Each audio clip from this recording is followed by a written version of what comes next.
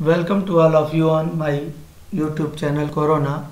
Today we will discuss about a topic which is related to class 9 physics and topic is mass versus weight. Today we will talk about this topic. तो इस topic को समझाने से पहले आपको एक term है matter I want to discuss on that topic देखिए everything is made up of matter कोई भी चीज़ जो है, वो मैटर से बनी है। जैसे animals humans food even desk and chairs are also made up of matter ठीक है? दूसरे टर्म में आपको ये समझा सकते हैं कि अपने आसपास हम जितनी भी चीज़ें देखते हैं, जो स्थान घेरती हैं विच अपाई स्पेस और जिनका अनुभव, जिनका एक्सपीरियंस हम अपने सेंस आर्गन्स के थ्रू कर सकते हैं। All things are known as matter. सारी की सारी चीज़ों को मैटर कहते हैं। ठीक है? लेकिन ये भी तो किसी चीज़ से बने होंगे ना। तो matter is made up of small particles, which is called atoms. ये सारे के सारे मैटर बहुत छोटे एक पार्टिकल होता है, जिसे हम एटम कहते हैं, उससे बने होते हैं।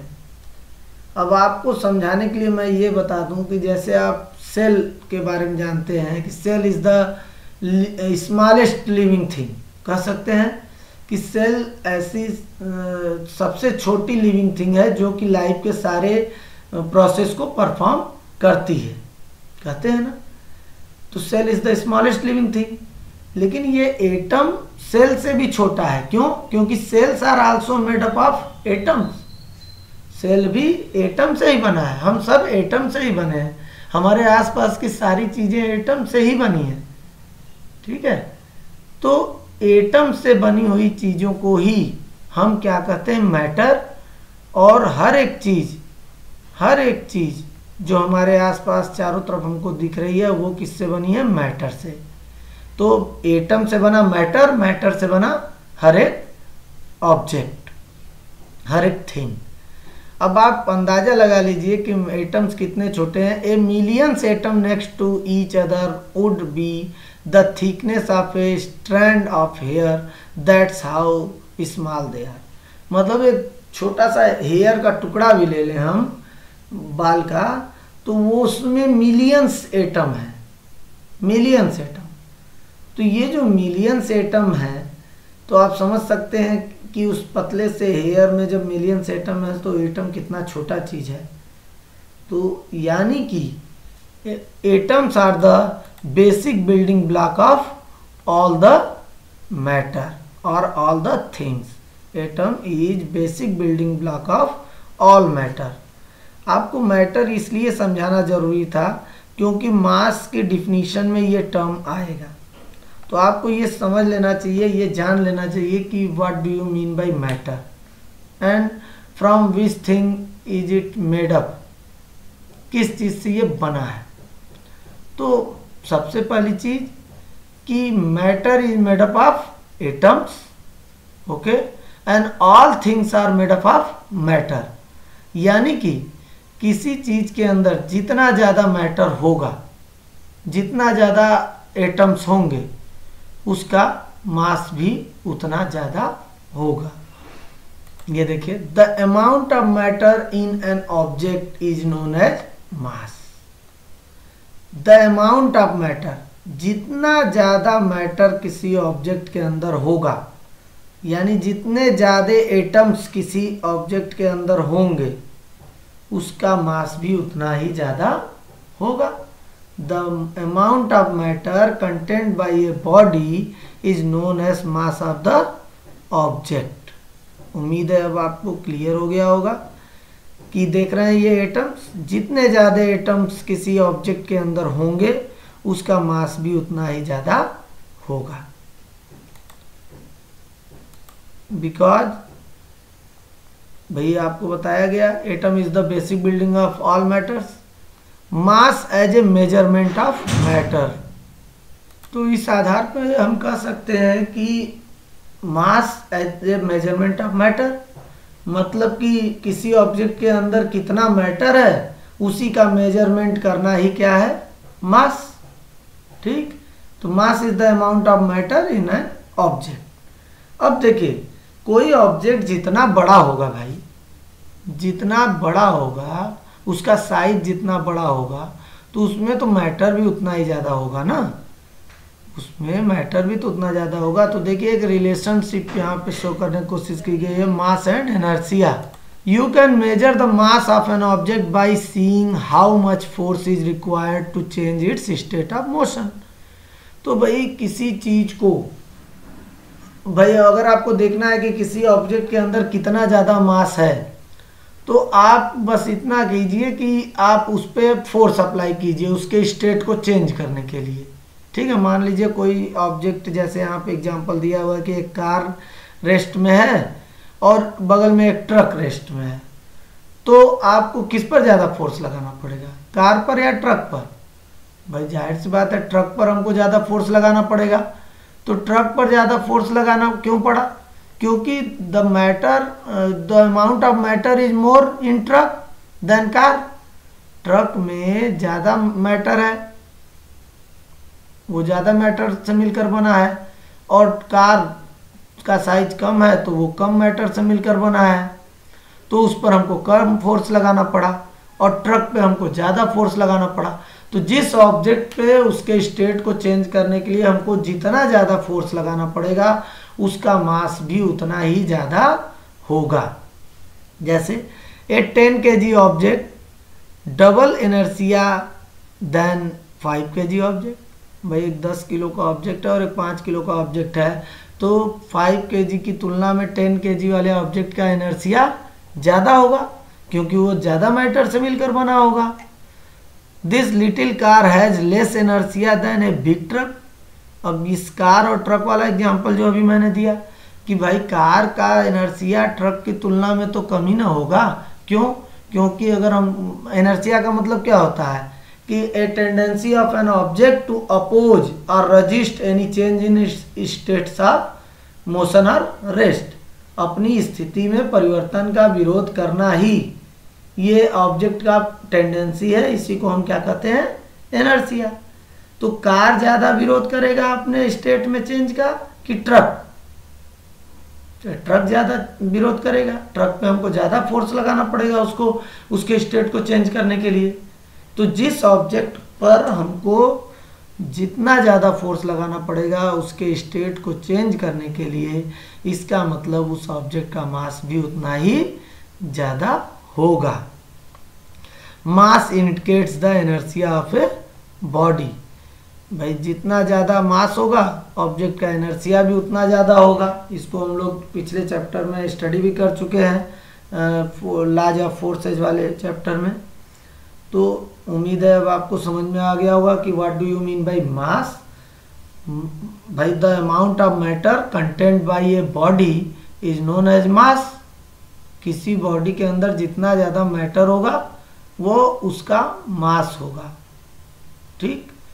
और उसका मास उतना ही ज़्यादा होगा। और जिसका मास जितना ज़्यादा होगा तो उस ऑब्जेक्ट का एनर्सिया भी उतना ज़्यादा होगा।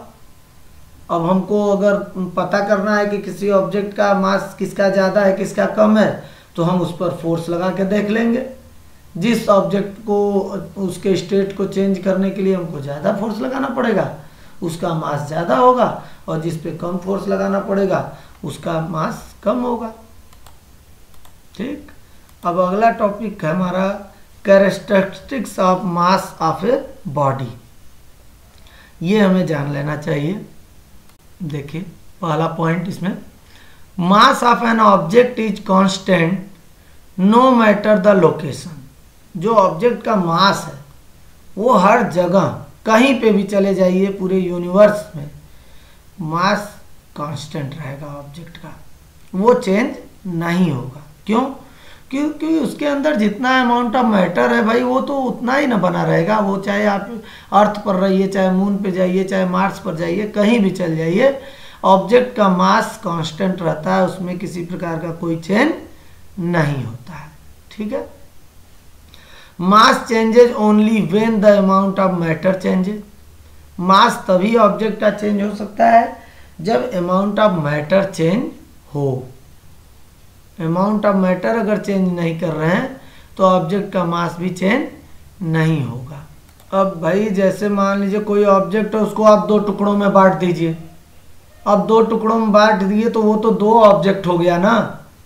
तो अब अमाउंट ऑफ़ मैटर वहाँ चेंज हो गया तो उस ऑब्जेक्ट का मास भी चेंज हो गया। तो मास तभी चेंज होगा ऑब्जेक्ट का, जब अमाउंट ऑफ़ मैटर चेंज हो।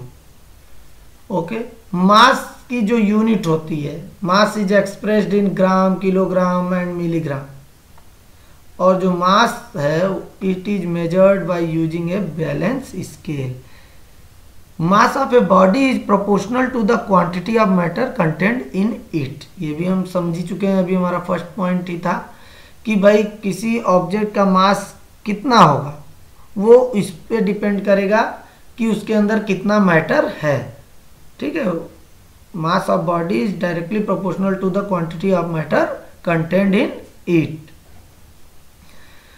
किसी भी ऑब्जेक्ट का मास जो है mass of a body does not depend on the shape size and the state of the body mass इस बात पे डिपेंड नहीं करता कि ऑब्जेक्ट का शेप क्या है साइज़ क्या है, और उसका स्टेट क्या है। लिक्विड है सॉलिड है गैस है, इससे मैटर नहीं बस मैटर इस बात पे रहता है कि कितना मैटर उसके अंदर है amount of matter mass of a body remains the same at all places this means the mass of body will be same throughout the universe this is because the quantity of matter content in the body does not change throughout the universe अभी आपको समझाया कि जो किसी भी object का mass है, वो कॉन्स्टेंट रहता है क्यों? क्योंकि पूरे यूनिवर्स में कहीं भी चल जाइए, उसके जो है मास में कोई चेंज उसके जो मैटर कंटेंट है, उसमें कोई चेंज नहीं आता है।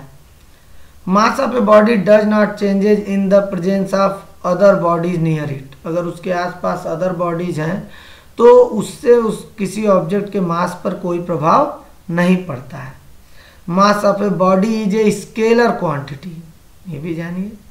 कि जो मास है, वो एक स्केलर क्वांटिटी है। इसको अभी और डिटेल में भी समझाता हूँ मैं आपको। Mass of body can be measured with the help of beam balance, जो तराजू होता है, आप देखें ना, गाँव में या दुकानों पर तराजू यूज़ करते हैं, उसको कहते हैं बीम बैलेंस। तो किसी ऑब्जेक्ट का मास मेजर करने के लिए बीम बैलेंस यूज़ किया जाता है। ठीक है? आगे देख लेते हैं हमारा बैलेंस की बात अभी आपसे हो रही थी। यही तराजू यूज़ होता है। दुकानों में इस तरह का होता है और जो अदर एक तराजू हैंग करके करते हैं यूज़ वो भी होता है। A tool use to measure the mass of an object beam balance a balance tells the amount of matter of an object contents इस बैलेंस से, इस बीम बैलेंस से जब हम मेजर करते हैं तो हमको पता चल जाता है कि उस ऑब्जेक्ट के अंदर कितना मैटर का अमाउंट है, ठीक है? उसके बाद ये सारे टूल्स भी यूज़ किए जाते हैं। आजकल डिजिटल बैलेंस यूज़ किया जाता है मास को मेजर करने के लिए। बाकी ये टू पैन बैलेंस तो आप समझ ही रहे हैं, तराजू ही है। बस उसका लेटेस्ट वर्जन आ चुका है। तो ये सारी चीज़ें जो बीम बैलेंस होती हैं डिजिटल बैलेंस है, इनका यूज़ होता है ऑब्जेक्ट के मास को मेजर करने के लिए। यानी अमाउंट ऑफ़ मैटर को मेजर करने के लिए। Mass is the mass is measured in kilogram आप जानते हैं मास की एसआई यूनिट क्या होती है? Kilogram it is a scalar quantity because it is fully described by a size देखिए मास जो है एक स्केलर क्वांटिटी इसलिए है। स्केलर क्वांटिटी की डिफिनेशन ये थी कि ऐसी क्वांटिटीज जो केवल उनके अमाउंट से पूरी तरह स्पेसिफाई हो जाए, पूरी तरह एक्सप्लेन हो जाए, उनको हम स्केलर क्वांटिटी कहते हैं। तो जो मास है, उसके साइज़ से, उसके अमाउंट से ही ये क्लियर हो जाता है मैग्नीट्यूड से ही क्लियर हो जाता है, सारी जानकारी मिल जाती है। जैसे हम चीनी लेने गए शुगर और दुकानदार को हमने कहा फाइव के जी शुगर चाहिए हमको। तो अब फाइव के जी शुगर बोल दिए, उसको पूरी बात समझ में आ गई। अब इसमें डायरेक्शन का कोई रोल नहीं है कि मुझे इस साइड से दीजिए या इस साइड से दीजिए। तो मतलब केवल मैग्नीट्यूड से ही सारी जानकारी मिल गई दुकानदार को। तो इस तरह की क्वांटिटी को हम कहते हैं स्केलर क्वांटिटी ठीक है? और वेक्टर क्वांटिटी क्या होती है कि उसमें हमको मैग्नीट्यूड के साथ साथ डायरेक्शन भी बताना पड़ता है। तब जाके वो के पूरा पूरा पता चलता है। तो स्केलर क्वांटिटी इसीलिए मास है। क्यों? क्योंकि वो केवल उसके मैग्नीट्यूड से ही स्पेसिफाई हो जा रही है एक्सप्लेन हो जा रही है। नेक्स्ट टॉपिक हमारा है फ्रेंड्स देखिए, आपको पता है gravity gravity is the force that attracts a body towards the centre of the earth और towards any other object that has mass हम सब जानते हैं ग्रेविटेशनल फोर्स के बारे में कि कोई भी दो मासिव ऑब्जेक्ट ऐसे ऑब्जेक्ट जिनके अंदर मास है, वो एक दूसरे के ऊपर एक अट्रैक्शन फोर्स लगाते हैं और उसी फोर्स को हम क्या कहते हैं? ग्रेविटेशनल फोर्स और अगर उन दो ऑब्जेक्ट में एक ऑब्जेक्ट अर्थ है तो उसी ग्रेविटेशनल फोर्स को हम क्या कहते हैं? ग्रेविटी ठीक है? We know it we have studied about it तो वेट जो होता है weight is the pull of gravity on an object the more matter the object है the more gravity will pull on it अभी हम लोगों ने समझा कि अर्थ किसी ऑब्जेक्ट पे जो फोर्स लगाती है, उसी को हम क्या कहते हैं? ग्रेविटी और वेट भी वही है. Weight is the pull of gravity on an object किसी ऑब्जेक्ट पर अर्थ द्वारा जो फोर्स लगता है उसको खींचने के लिए अपनी तरफ़, उसी फोर्स को हम क्या कहते हैं? वेट समझिएगा ध्यान से कि मास एक अलग चीज़ थी। और वेट क्या है? Weight is the force through which earth attracts any object towards its centre अपने सेंटर की ओर अर्थ जिस फोर्स से किसी ऑब्जेक्ट को खींचती है, उसी को क्या कहते हैं? उसी फोर्स को हम वेट कहते हैं। देखिए, weight, force of gravity. The more matter of the object है, the more gravity will pull on it. भाई, जितना ज़्यादा मास होगा, जितना ज़्यादा मैटर होगा किसी ऑब्जेक्ट का, अभी बताया ना, जितने बड़े ऑब्जेक्ट होंगे, जिसका मास जितना ज़्यादा होगा उनके बीच ग्रेविटेशनल फोर्स भी उतना ज़्यादा लगता है। तो जिस ऑब्जेक्ट के अंदर जितना ज़्यादा मैटर होगा, उस ऑब्जेक्ट पर उतना ज़्यादा ही फोर्स हमारा लगेगा ग्रेविटी अर्थ उसको उतनी ही तेज़ी से क्या करेगा? पुल करेगा। तो इससे एक बात और क्लियर हुई कि जो ऑब्जेक्ट जितना मासिव होगा, उसका मास जितना ज़्यादा होगा, उसका वेट भी उतना ज़्यादा ही होगा। ठीक है? क्योंकि जितना भारी जितना ज़्यादा मास वाला ऑब्जेक्ट होगा, उसको अर्थ उतना ही तेज़ी से, उतना ही ज़्यादा फोर्स लगा के अट्रैक्ट करेगा पुल करेगा। तो जितना ज़्यादा फोर्स लगा के पुल करेगा तो उसका वेट भी उतना ज़्यादा होगा। क्यों? क्योंकि gravity is also known as भाई, आप कह सकते हैं ना कि the force through which earth attracts any object towards its centre that force is known as weight एक बार फिर से समझिए वेट को बहुत सिंपल चीज़ है। Weight is the pull of gravity on an object उस फोर्स को वेट कहते हैं, जिस फोर्स से अर्थ किसी ऑब्जेक्ट को अपनी ओर खींचती है। ऑब्जेक्ट जितना ज़्यादा भारी होगा, भारी का मतलब जितना ज़्यादा उसका मास होगा उस पर उतना ज़्यादा ही ग्रेविटी लगेगी और उसका वेट भी उतना ज़्यादा होगा।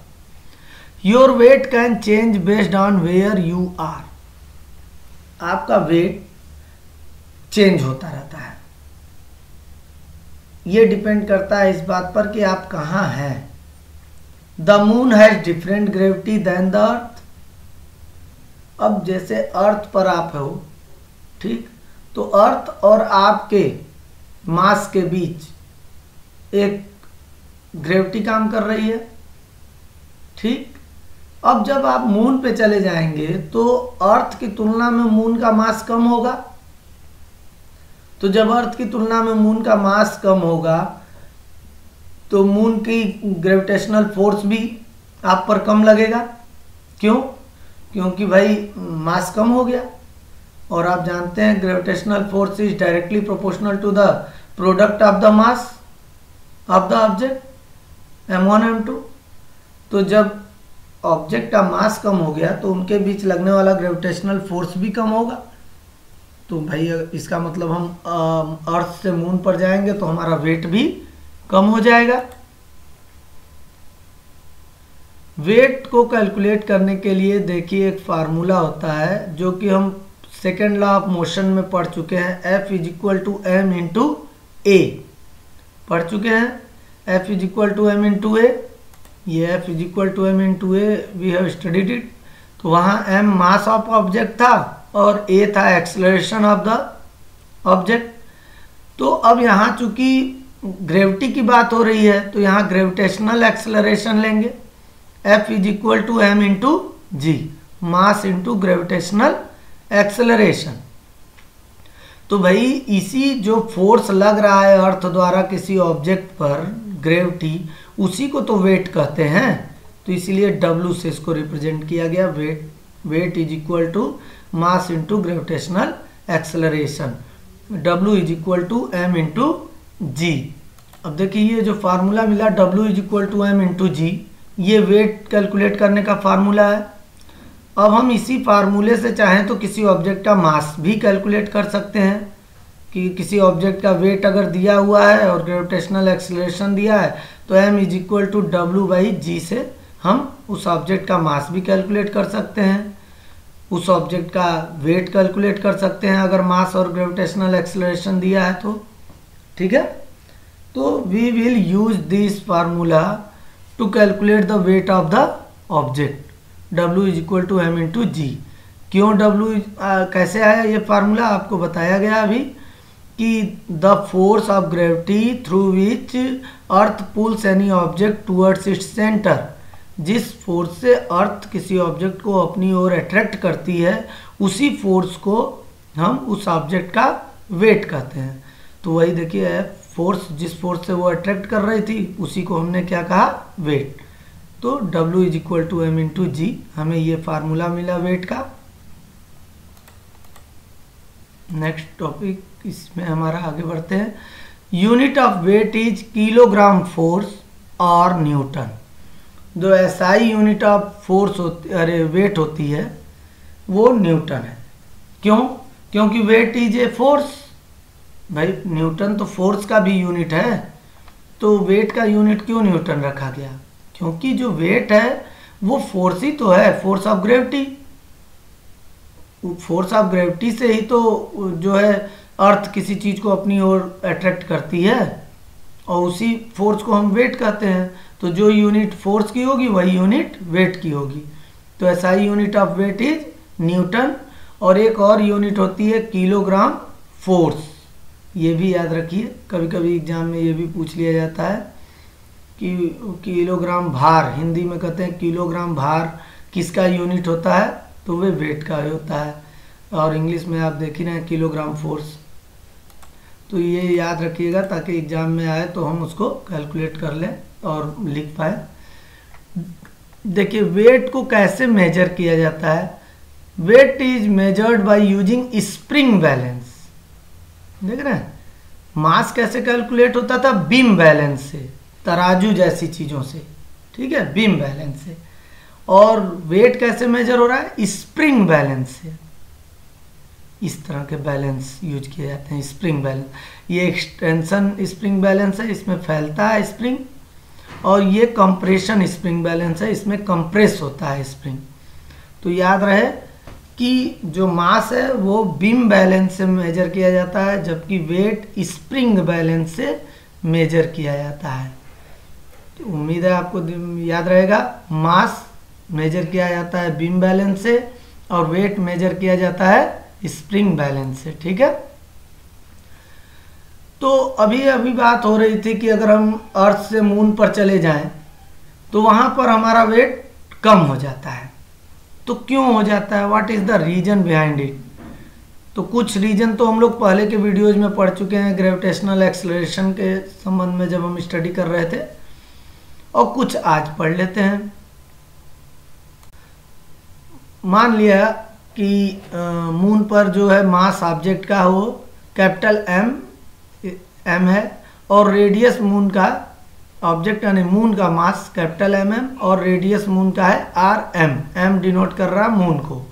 If a body of mass small M is placed on the surface of moon then weight of the body on the moon is अब देखिए ग्रेविटेशनल फोर्स का जो फार्मूला होता है, हमने कहा force of gravitation is known as weight of the object भाई, जिस फोर्स से ऑब्जेक्ट को प्लेनेट या एक ऑब्जेक्ट दूसरे ऑब्जेक्ट को जिस फोर्स से अट्रैक्ट कर रहा है पुल कर रहा है, उसी को हम क्या कहते हैं? वेट तो हम यहाँ पर लिख सकते हैं कि the weight of body on the moon F की जगह हमने डब्ल्यू एम लिख दिया weight on moon capital G, M M, small M, upon R, M का स्क्वायर। कैपिटल एम, मून का मास है, कैपिटल आर, मून का रेडियस है।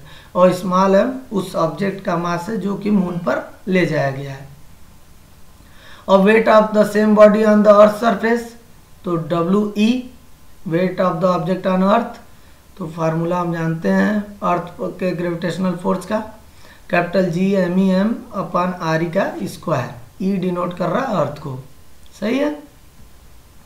अब इक्वेशन वन और टू दोनों को कैलकुलेट कर लेते हैं डिवाइड कर देते हैं तो W M upon W E calculate किए तो capital M upon capital M E into R E का स्क्वायर अपान आर एम का स्क्वायर यहाँ पे अब अर्थ का मास मून का मास अर्थ का रेडियस मून का रेडियस सारी वैल्यू पुटअप कर दिए। पुटअप करके कैलकुलेट किए तो हमें जो weight on mass weight on moon और वेट ऑन अर्थ का रेशियो मिला, वो वन अपान सिक्स मिला। वन अपान सिक्स लगभग, ठीक? तो the weight of body on the moon is about one six of its weight on the earth तो अब देख लीजिए मैथमेटिकली ये प्रूफ है कि जब हम अर्थ से मून पर जाएँगे तो अर्थ पर जितना वेट रहा होगा ऑब्जेक्ट का मून पर जाकर उसका वेट, पहले वाले वेट का वन बाई सिक्स ही रह जाएगा। क्यों? उसका कारण आपको अभी मैं बता चुका हूँ कि क्योंकि मून का मास कम है अर्थ की तुलना में तो जब मास कम होगा तो वो कम फोर्स लगा के ना अट्रैक्ट करेगा किसी ऑब्जेक्ट को, कम फोर्स लगा के ना पुल करेगा। तो बस वही है one upon six times weight रह जाता है मून पर ऑब्जेक्ट का। तो उम्मीद है आप लोगों को कुछ सीखने के लिए मिला होगा इस वीडियो से। यदि आपको वीडियो पसंद आया तो चैनल को सब्सक्राइब करें, वीडियो को लाइक करें, शेयर करें। थैंक यू एक डिफरेंस भी जान लेते हैं मास और वेट के बीच। बहुत कुछ हम लोगों ने सीखा। इसको एक तरह से समराइज कर लेते हैं। मास और वेट ये अक्सर एग्ज़ाम में आता है क्वेश्चन तो you should learn it it is a measure of number of atoms or amount of matter in an object mass का तो यही मतलब होता है कि amount of matter content by a body जितना ज़्यादा मैटर होगा किसी ऑब्जेक्ट के अंदर, उसका मास भी उतना ज़्यादा होगा। और वेट क्या है? It is a force exerted by an object on fixed mass due to gravity या इसी को हम इस तरह से कह सकते हैं कि the force of gravity through which earth attracts any object towards its centre earth जिस फोर्स से किसी ऑब्जेक्ट को अपनी ओर अट्रैक्ट करती है, उसी फोर्स को उस ऑब्जेक्ट का वेट कहते हैं। सही है? It is constant for a body and does not change with a place object का मास जो है, वो जगह के अनुसार बदलता नहीं है, वो कांस्टेंट रहता है। But weight it is not constant for body but it changes from place to place लेकिन वेट बदलता रहता है। जैसे अभी अर्थ पर कुछ था मून पर कुछ है। लेकिन अगर मास की बात करेंगे तो अर्थ पर भी ऑब्जेक्ट का मास उतना ही रहेगा, और मून पे ले जाने पे भी मास उतना ही रहेगा। और वेट का क्यों चेंज आता है, उसका रीजन भी समझ लीजिए। देखिए वेट के फार्मूले में होता है W is equal to M into G G यानी ग्रेविटेशनल एक्सलरेशन याद होगा आपको, अगर नहीं आपको पता है तो हमारे पहले के वीडियो देखिए। उसमें हमने बताया था कि ग्रेविटेशनल एक्सलरेशन ये प्लेस टू प्लेस चेंज होता रहता है। पोल्स पर कुछ इक्वेटर्स पर कुछ अर्थ से ऊपर जाने पर इसका वैल्यू घटता है, नीचे जाने पर वैल्यू घटता है। तो जी की वैल्यू वेरी कर रही है। तो जब जी की वैल्यू वेरी करेगी तो वेट की वैल्यू भी तो वेरी करेगी भाई। तो इसीलिए जो वेट है वो कांस्टेंट नहीं होता है। इसकी value place to place vary करती है। अगला क्वेश्चन है measure using a beam balance देखिए मास को बताया था मैंने। मास को मेजर करने के लिए हम बीम बैलेंस यूज़ करते हैं और वेट को मेजर करने के लिए हम स्प्रिंग बैलेंस यूज़ करते हैं। मास की एसआई यूनिट क्या होती है? किलोग्राम और वेट की एसआई यूनिट होती है न्यूटन एंड किलोग्राम फोर्स दोनों होती है न्यूटन एंड किलोग्राम फोर्स। और ये भी याद रखिए, one kilogram force is equal to nine point eight newton. इन दोनों के बीच रिलेशन क्या होता है, ये भी हमें याद रखना चाहिए। One kilogram force is equal to nine point eight newton. तो ये वीडियो उम्मीद है आप लोगों को पसंद आया होगा। Okay thank you